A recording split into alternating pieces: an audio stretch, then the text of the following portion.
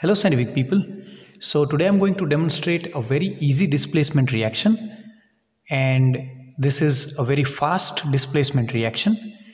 There is already one displacement reaction that I have already performed that is iron and copper sulfate but it requires a lot of patience. It requires about a day to see the entire entire reaction and the final products.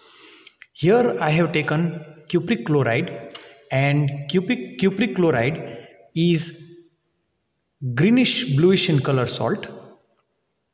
I have taken some water in a test tube.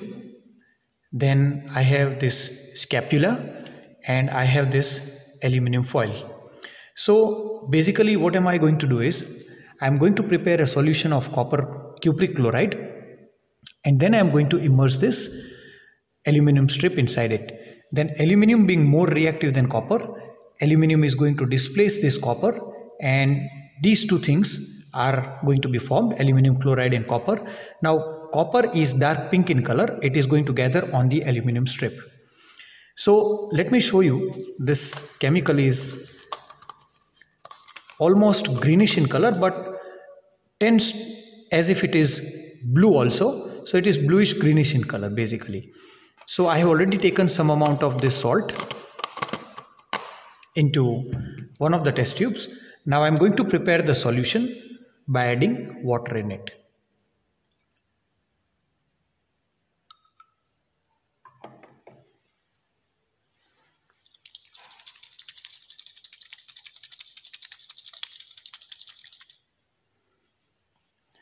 So we have our cupric chloride solution ready. Now I'm going to immerse this strip into it and within few minutes you will be able to see the reaction.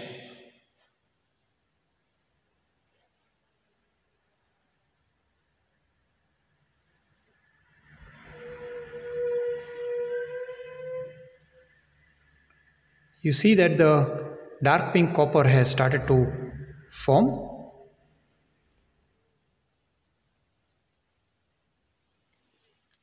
this reaction has started to happen. And you can see the formation of bubbles and the displacement has already started taking place. As you can see here the copper has started to deposit on the surface of the aluminum foil. And you can clearly see the color change on the top part of the aluminum foil and the immersed part of the aluminum foil.